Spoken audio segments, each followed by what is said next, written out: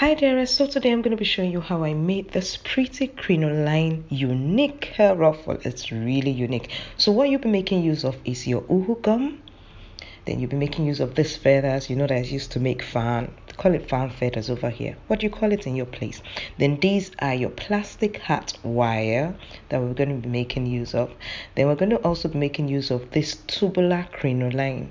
Now, if you know, need to know the names of crinoline, join us in crinoline masters class. Then we're going to be making use of these beads, if I say beads, beads, and also we'll be making use of the elastic band this type of elastic band they are um, what you call it this is kind of the thick one. It's not very thin it's thick. Then we have our fishing line that we're also going to be making use of and it's 0.35 millimeters i think. Yeah that should be it. What else are we bringing out from our loads of materials? Okay then we need our needle of course. Then we're going to be doing is to shave our feathers. Now I call it shaving because the feathers are there, but we're actually removing some of the hairs of the feathers to give it a unique look. So you can actually go to the market and buy the feathers like that. I think they have arrow feathers that look close to this, although it's not the same thing per se. But if you don't want to stress doing this, then you can go get that. But this is cheaper actually because you buy um two yards of this, or let's say one yard. I think you buy one yard for 800 now. Is it 1000? That's a naira anyway. So you can make a lot of this. So this is actually cheaper. Pieces now the next thing we're going to be doing is we're going to be measuring our tubular um a tubular crinoline or you can call it pipe. Here it's called pipe but if you search for it online it's called tubular. So i want to make it in curves like this okay? That's what i'm doing so and i think the size is okay and that's 10 inches. If you want to make it longer you can make 12 so i'm going to be cutting seven pieces of this so the next thing you want to do is to get your um, plastic hat wire and I'm going to be passing it through the tubular crinoline or pipe. Do let me know in the comment section what you call it in your place. Okay, so I'm going to turn it like this. Can you see how I've turned it?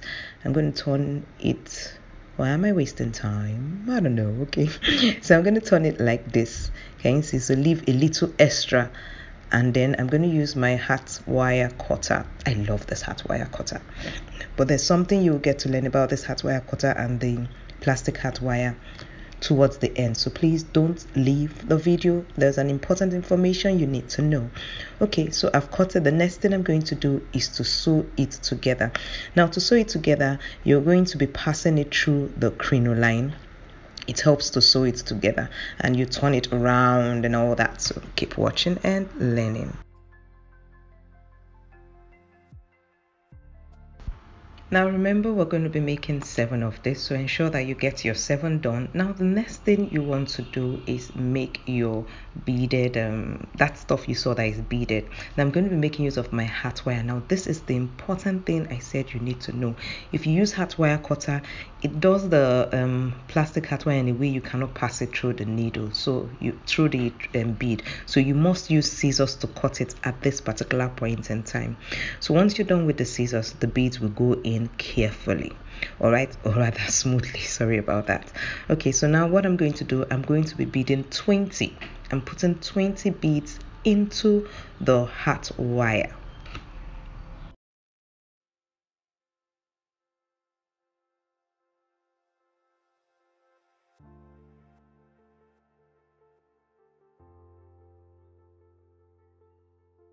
to tie the hat wire quite tricky. What you do is you're going to be twisting one around the other. Just watch what i'm doing. I hope you can see it with my hand but it's just a twist. I take one part and i start twisting it around the other.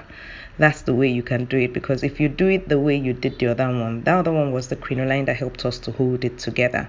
If you try to do it nah it was not doing anything. So this was what i discovered how to do it. So i just twist one part around the other but after I did that there's still reinforcement so just hold on. So at this stage you can use your hat wire cutter or since we're going to be doing more than one you use your scissors to cut the excess then you take your fishing line and just cut a little piece and I'm going to now turn it around it like so. Once I'm done with turning it round I will start tying it to ensure that it holds securely. So keep watching and learning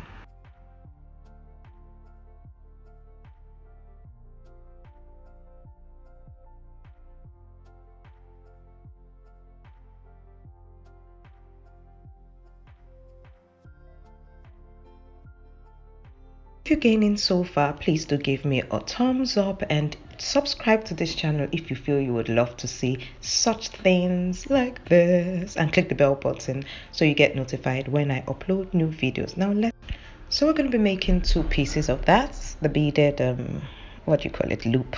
Then the next thing i'm going to do is cut my elastic band. Now for my hair ruffles i cut seven inches. Do let me know what you use when you're making hair ruffles. Do let us know in the comment section below.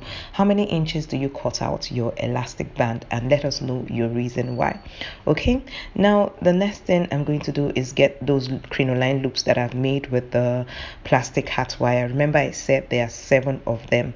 So now i'm going to be sewing them all together putting them overlap wrapping them. Sort of what i'm doing first of all is i'm arranging them. You know when you cut out some may not be exact the same size. So what i want is that for each one aside the middle one that's the middle one i've put. Now i'm putting the other ones in order that their sizes are the same. Can you see? Okay so that's what i'm doing. So i've noted where i want to put them so that it gives me a unique finish.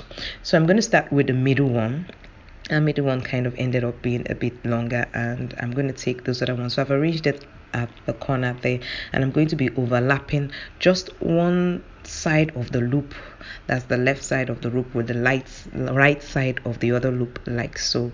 And I'm making use of my fishing line and my needle. Now the reason why I'm using fishing line is because it will hide all the color of the thread. Do you understand? So it's much easier to work with when you have to cover and all those stuff. So this is what i'm going to be doing. I'll take the next one like so and put on the other side overlapping. Okay? Mm-hmm. can you see? Like so you need to watch carefully to see how I'm doing all the overlapping. Okay, so while we're doing the overlapping, let us discuss on my crinoline masters class. Now, I'm sure you can see I know how to manipulate crinoline. I thank God for that. So the crinoline class actually starts from the basics. What is a crinoline? What types of crinoline do we have? Um, if you see a crinoline design, how to say that this particular thing is what is used for the crinoline, how to use it to make ruffles, um, fascinators, um, hearts, how to also use it to um, how you can manipulate it, iron it, can you dye or spray it. All these are what you learn in Crinoline Masters class. So if you want to attend, just check the description of this video. If you click on um, the D'vent Craft Academy reception, the link there's a telegram link. You click on it and you enter and you make your request that you would like to attend the Ventcraft Academy. Trust me, you would love it. Okay, so back to our um, video.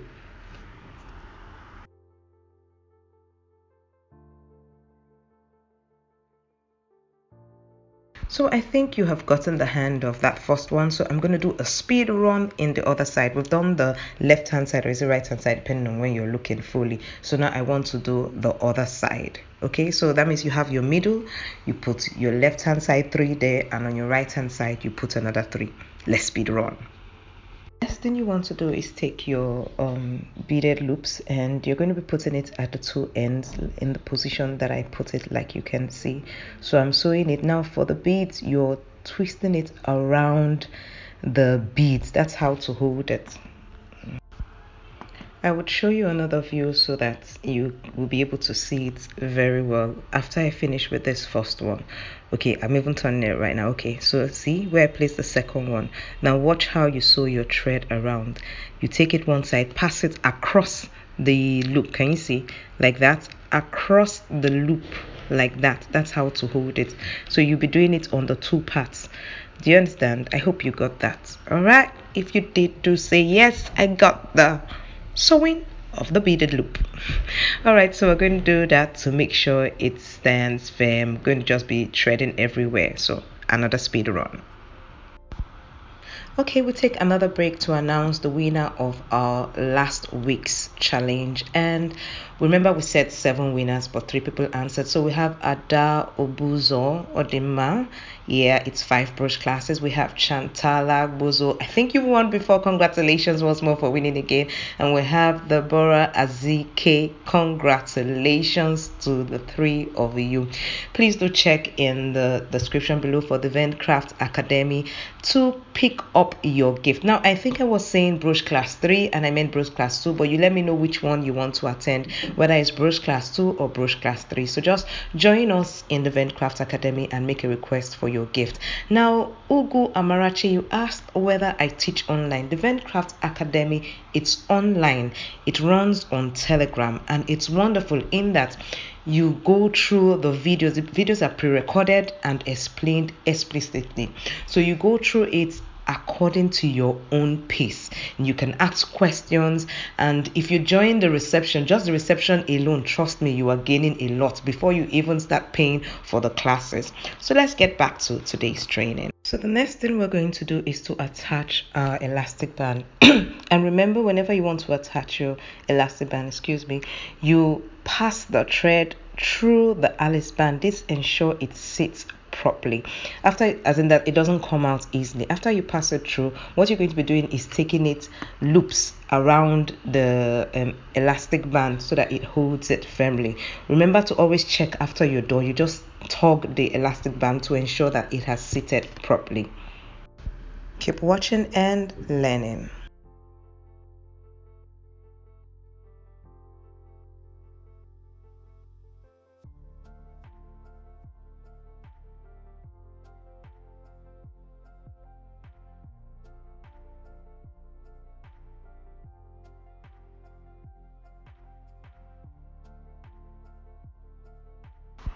just in case you can't find any of the materials used in making this um, unique crinoline hair ruffle i would drop amazon aliexpress and my own links in the description of this video so you can purchase them. Now once you're done you would notice that the edge of your um, hair ruffle is chucky chucky as in has sharp sharp points. So what you do first of all is that you take scissors and you trim it up a bit. Be careful that you don't cut off the part that you have sewn okay so once you're done with that I was thinking in my mind, what can I use to cover this? And I was like, oh, petals. And I have pink petals. So I took petals and I used the uhu gum first of all to put around the places I want to put the petals. And then I used the petals to cover it. I didn't want to use, it was the lace trimmings I wanted to use initially. But I was like, if I put the lace trimmings direct, of course, those things choking will still be choking through it. And I don't want anybody using the hair ruffle to, it will be choking the person. No, I want it to be okay, you know, smooth. So it came about. So instead of petals you can actually also use material. But i think petals gave it a nice look because i could push it in corners and just hide it anywhere i can like that. And then the next thing i did was to use the lace trimmings. I cut them into pieces into different different roses and covered it to look very fantastic. Now remember we still have um what do you call it we have a challenge at the end of this video so do not go away.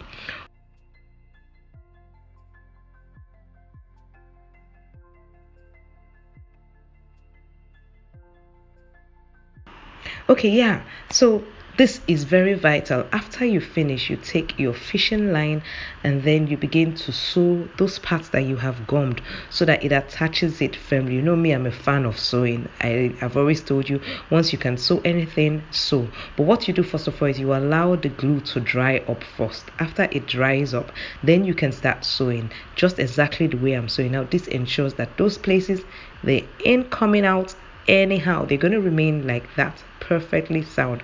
So when i finished there was a little trimming over there little tight where i tied it it was showing there. So i just used another rose to cover it like so then the next thing I did was to take my feathers remember the feathers? And I just started attaching it the way you saw it in the YouTube thumbnail. So that's what you do here. Now the challenge the question for today is how what was the total number of beads that we used in making this a unique crinoline hair ruffle do let me know in the comment section below. And the winner gets to attend broche class 4 for free. One winner would be selected at random. Now, if you enjoyed this video and you gained value, please do give me a thumbs up. And if you haven't subscribed, click that subscribe button and the bell so you get notified when I upload new videos. And check out this other crinoline design.